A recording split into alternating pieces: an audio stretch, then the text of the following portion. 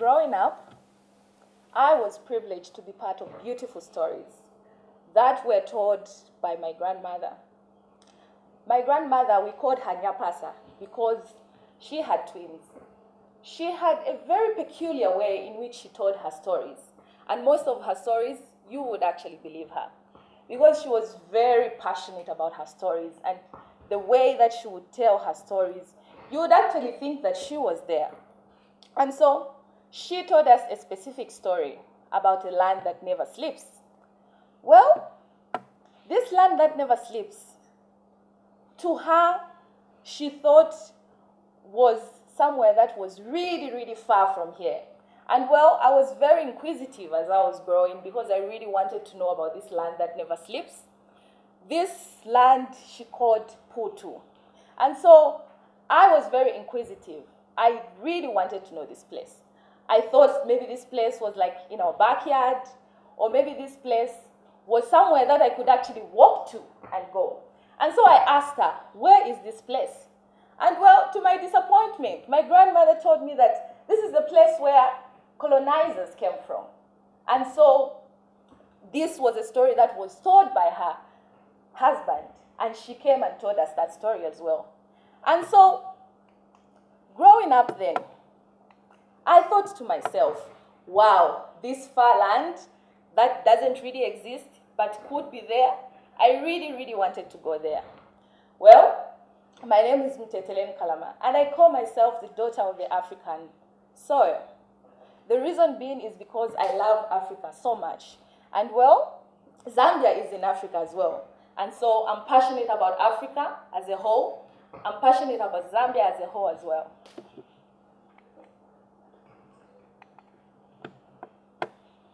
Well, being original for me has had to do with simple things that others might consider trivial, like signature hairstyles, sometimes clothing, sometimes hair that is called by my name.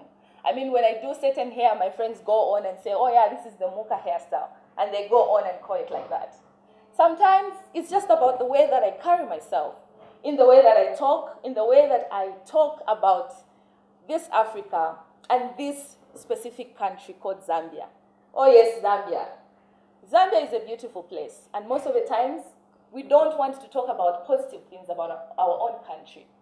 We think maybe our neighbors are doing so well. And mostly in Africa, we refer to countries that are doing so well and don't talk about our own country. A bad hair day. Bad hair day. I know this resonates so much with us girls, or rather women. And for guys, well, not that much because you shave your hair and you have your beards on. But then for us, a bad hair day is really something that ruins our day. Imagine waking up one day only to realize that your, your power has cut. And especially in this time where ZESCO is cutting the power so much. You wake up and you need to tone your hair. Or maybe you need to blow your hair and it's kinky, especially for our natural hair. Well, our natural hair really has a funny way of making our day go bad.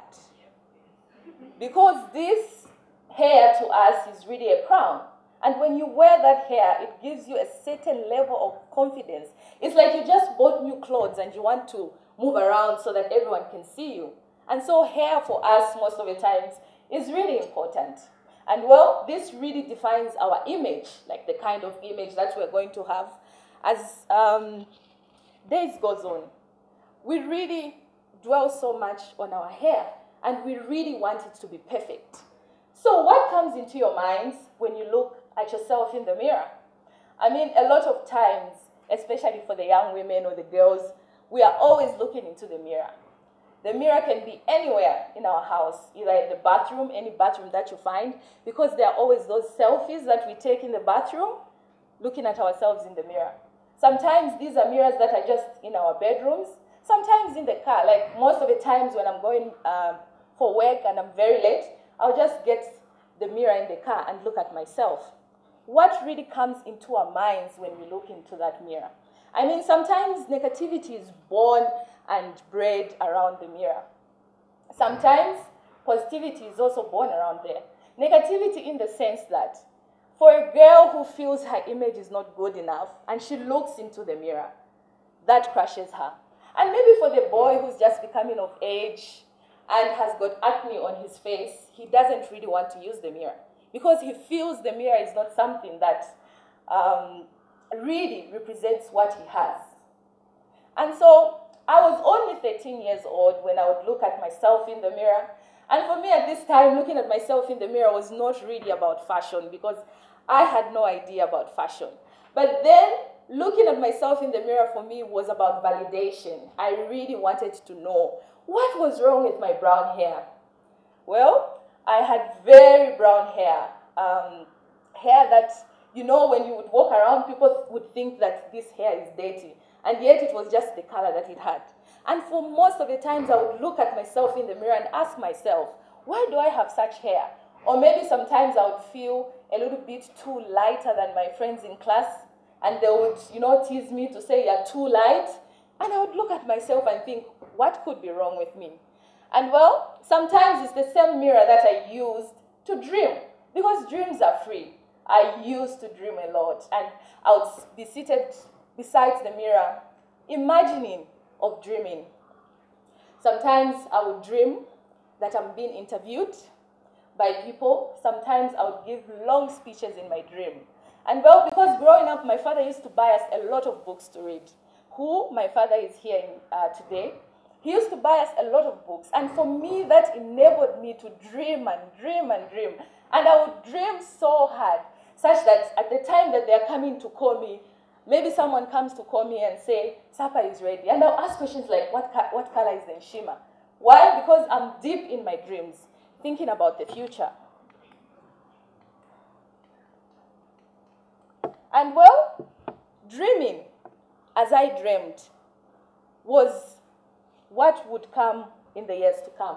I didn't really know that this was what would come in the future, where I would be featured in newspapers, or maybe where I would be on TV talking about things that really concern me, or things that concern others. my land to, my, my journey to the land that never sleeps. Well, this place that I talked about, that my grandmother used to talk about, was simply countries like America, the UK, or any other Western world. But the way that she made it sound so far away, I had really given up that I would ever go there. Well, in this land that never sleeps, I am constantly talking about the beauty that Zambia has. And a lot of us would argue to say, what does Zambia have to offer? I mean, what will people really come to see when they come to Zambia? But for me, most of the times when I go to this land that never sleeps, which is any other European country or any American country or any Western country, I am always talking about Zambia. Why? Because I believe Zambia in itself is beautiful. It has so much to offer. Zambia in itself Zambia in itself is beautiful and it has so much to offer. I mean, just think about it. If you told people about this country, Zambia, what do you think they can come and see here? Are you just thinking about the compounds that are around that they're coming to see? Or are you thinking about the beauty, maybe the Victoria Falls that can um, give them a very good view as being one of the seven wonders of the world? Have you ever thought about that? And so even talking about Zambia as a country, I have gone on to really represent myself in the way that I should represent myself, in the way that people could relate me to a country. And when they look at me, they should be able to say, oh, yeah, she is from Zambia or she's from Africa. And well, this has enabled me to rather escape or make people wonder and ask questions like, were you really born in Africa? Or maybe questions like, when last were you in Africa? I just came from Africa. When last were you in Africa? I just came from Africa. Or did you really study in Africa? Because those questions are the ones that people ask. They're the ones that raise a lot of thoughts in our heads. You tend to think and wonder, oh, so my education system really cannot enable me to give such a speech in the land that never sleeps just because I was born in Africa? Those are thoughts to think about. And well, as I went on, I really did think about a lot of things in my life. And getting to a point where I could actually stand in front here and speak took a lot of courage. It took a lot of passion. It took a lot of people that I knew in my circles to really pull me up. I remember one time, uh, just after completing high school, my father had given me a newspaper to read. And in this newspaper, there was an advert by the United Nations. And so the United Nations International Children's Emergency Fund advertised for children in Zambia to apply to become what they were calling climate change ambassadors and stroke HIV ambassadors. Immediately I saw this opportunity, I thought of my friend. I said, wow, I think my friend will really, really qualify to do this. And so I went on and thought about it, contemplated about it. And after a week, I really convinced myself that maybe this is something that I could try. So I went on, tried, and applied. Well, after months of waiting and waiting, I came to get a response. Someone called me and said, Oh, you have actually qualified, and you're one of the children that are going to represent Zambia to become child ambassadors. I was really, really excited. At the time that I got this news, I rushed back home to go and tell my mother. Well, typical of African mothers, the response was something that anyone could expect. My mother said, No, they are Satanists. Do you know them? Have you been there? How do you know that these people are not coming to steal you? And so, well, that got cleared off when my brothers came through and really verified that this was a great opportunity for me to go on. As time went on, I went for this prestigious conference with a lot of children around Zambia. And I was the child that sat at the back because I didn't really think I could position myself in front so that I could see what was really happening. And so I went and learned and learned. But then, as time went on, I got to really excel um, in that field, and I was selected to be a facilitator.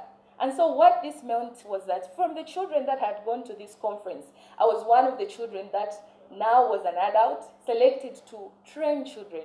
And on behalf of the United Nations International Children's Fund, I contributed to training 1,500 children in Zambia who were to be called climate change ambassadors as well.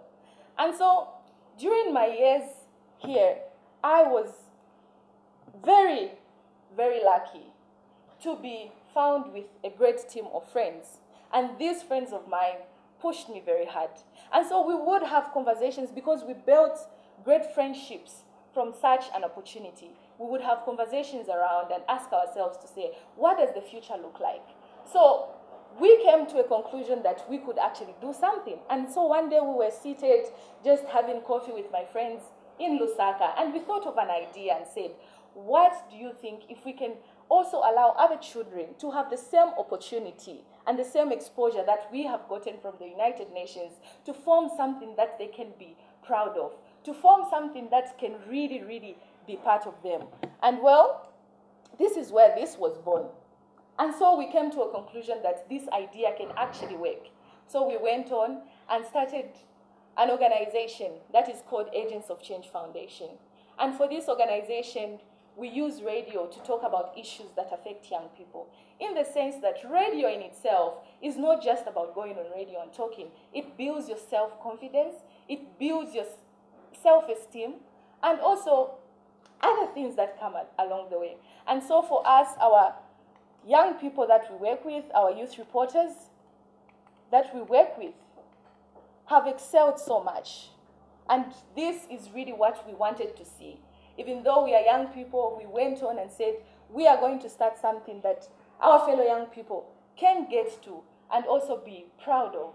And so they are part of a network that is called Youth Reporters. And so they report on issues that are affecting them in their communities weekly. And so they run radio shows that are focused on climate change, HIV and AIDS, sexual reproductive health and rights. And one of the greatest achievements is that for these young people, they have gone on to represent us at high level meetings. And this is the greatest achievement because when you see someone that you have trained go on and do amazing things, some are running organizations, Some are going on to be active citizens because really our motto is to catalyze a generation of young ethical leaders, these leaders that can go on and take Zambia to a next level. And so we have worked with these young people in a way that is different because we have focused on leadership. And for us, we have said for them to come out of this program, it's not just about go going on radio to talk, because we know that radio is really common. And a lot of people use radio, especially politicians or sometimes for entertainment. But did you know that 80% of Zambians have got access to radio? We have access to radio. And 60% of Zambians are listening to the radio, meaning that every minute, every hour, someone is listening to radio. And so that's why we said radio should be a powerful tool that these young people can use to really change their lives. For them, it has been about the friendships that they have formed in this organization that have taken them further. It's about the self confidence that they have gained. It's about the self esteem that they have built such that they have become active citizens in our country. And for them, they have continued to really do amazing things um, on radio. Well, dreaming is really free. And if you think about it, you have all the time in the world to dream. Because most of the times we think about things that require money, or sometimes we think about things that require us time. But with dreams, dreams are really free. You can dream as much as you want to dream. But the only secret is that you need to work on your dreams. Because at times, I think we dream so much that we fail to really go ahead and do what we have dreamt about. And so, when everyone dreams, it is just allowing you to get closer to your goal, getting closer to that, to that dream that you think will actually work for you. And so, being the change that we would want to see in our communities is really not about our friends or the person seated next to you. Because as growing up, I had always been like that, where I would pass on the opportunities to my friends and say they could do it better. And I never thought in my lifetime that I would actually do what I needed to do. So the fact that dreaming is free, we can go on and dream and become what we really want to see and become the change that we want to see in our communities, catalyzing a generation of young ethical leaders that can be able to take our country to the next level without looking at the person next to them, but thinking about them, the change that they want to see in them, and the change that they want to make for their children. Thank you.